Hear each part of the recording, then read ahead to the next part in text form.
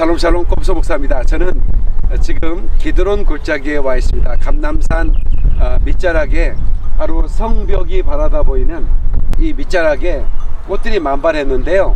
제 뒤로 어, 세례완의 아버지 대제사장 스가랴의 무덤이 보이고 어, 그 뒤편에 압살롬의 무덤이 있는 곳이죠. 오늘 주일 부활절 이후에 첫 번째 주일을 맞는데요. 네, 그리스 김 목사가 오늘 말씀을 전하겠죠. 어, 정말 생명력 있는 말씀을 듣고 전했으면 좋겠고요. 어, 제가 그 다음 주에 곧 가거든요.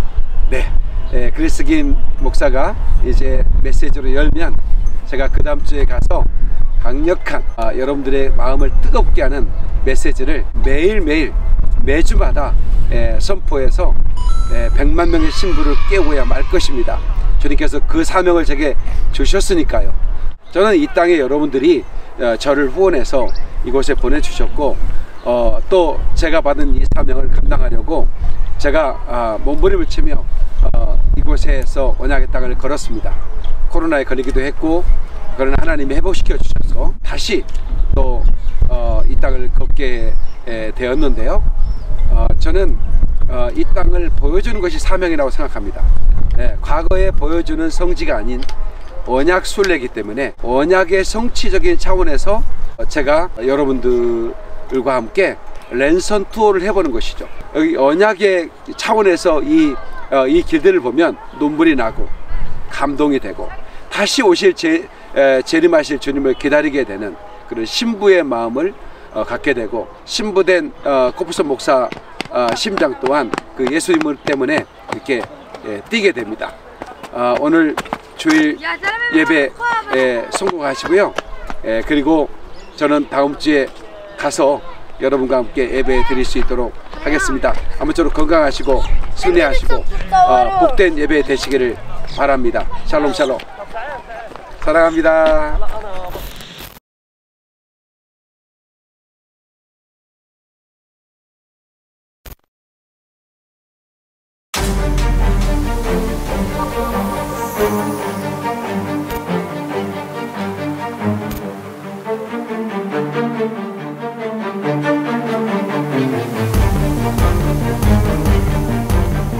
אנחנו עושים את כל מה שאתם רואים פה, כדי שהיום, היום ניקח את כל זה, נעביר את זה לבית המקדש, והיום נתחיל את העבודה.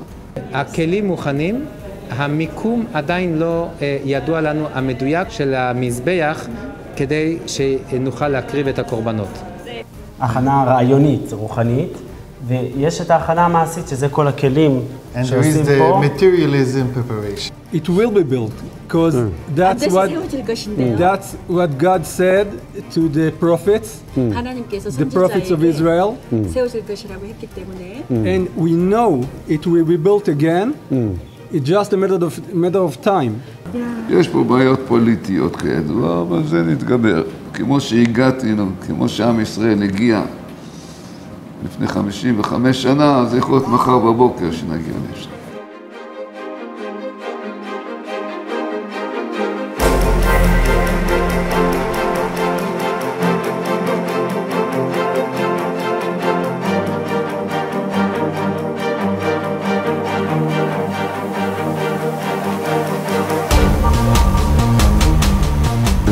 붉은 송아지에 대해서 성전 제사가 드려진다면 그게 필요하다고 들었는데 אז הוא רוצה לדעת פרה אדומה, כל יהודי שהוא היה ליד מת, הוא נטמע.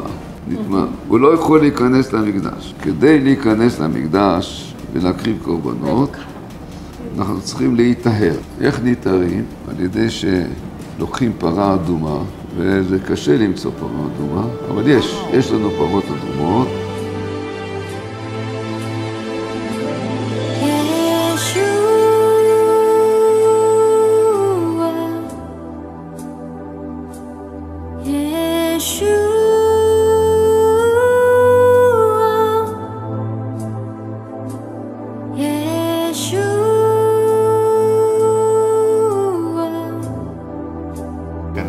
그러면 성전 장소가 중요할 텐데 그 성전이 지어질 장소가 여러 군데 있는 걸로 주장하는 부, 부분이 있다는 걸 알고 있는데요. אה, יכול להיות, אה, תסביר לה שיכול להיות שיש עדיין את הצינורות של ה- איפה שהדם היה יורד מתחת למזבח, בכל דבר יש כמה שיטות, אבל מי שמצוי ב... שבמקרה ויהיה לנו את האפשרות לבדוק את זה אפילו עם עם מכשירים שבודקים אה, חללים, נוכל אה, לאמת את המיקום המדויק ואז למקם את המזבח. בעניינים יודע שיש שיטה מאוד מאוד מרכזית, כולם יודעים, גם השיטות שבהם חולקים בתוך היהדות, בתוך הספרים, ה- בלמדנות, זה הבדל של מטרים בודדים, אבל כולם יודעים, על זה אין מחלוקת שבית המקדש עמד איפה, בהר הבית, איפה שקרוב מאוד אלינו, ואין, החילוקי דעות הם מאוד מאוד מינוריים, אם זה מטר ימינה או מטר שמאלה, אבל אנחנו, את העיקר אנחנו יודעים.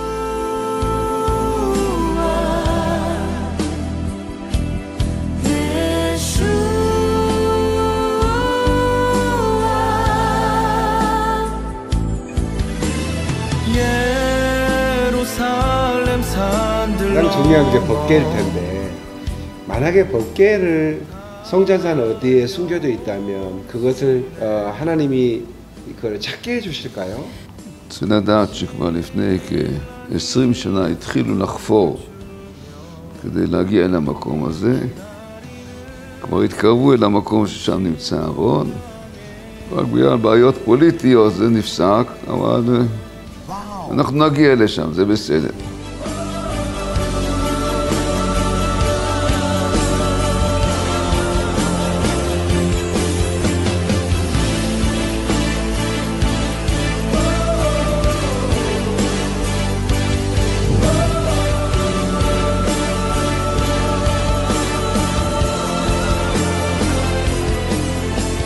우리가 요청하지 않는 것까지 설명하는 그런 일들이 벌어졌는데 네. 방금 전도 네, 네. 어, 깜짝 놀랐습니다. 여러 가지 제3성전 이야기 그리고 법계 이야기를 나눴는데 네.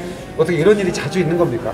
아니요, 저도 어, 어제에 이어서 오늘 어, 저희가 요청을 해도 예전에는 좀 피하고 이랬는데 스스로 먼저 와서 지금 그러니까 자- 자도 살짝 지금 심장이 살짝 뛰는 것처럼 오히려 긴장감이 생겨요.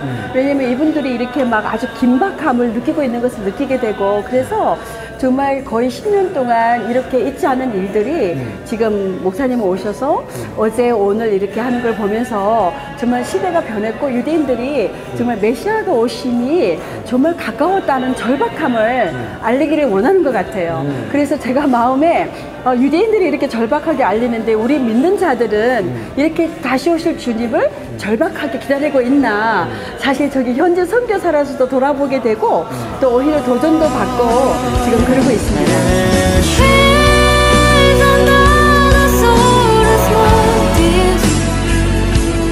예